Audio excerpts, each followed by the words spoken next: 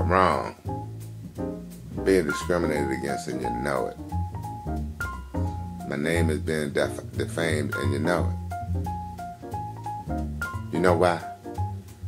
Because ain't nobody say, we got beat by Duncan.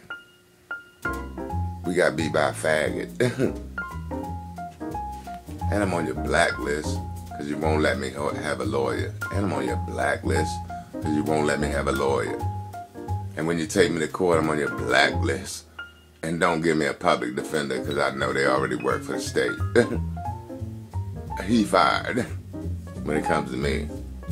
Can't wait for y'all to take me to court so I can get it on record. Because if I ever get a lawyer, I'm suing the neighbors. I don't care if they do have kids. Because I smoke marijuana, yeah, but I ain't tell their kids. Ain't show them. But their kids also ain't seeing me act prejudiced towards anybody and show them that.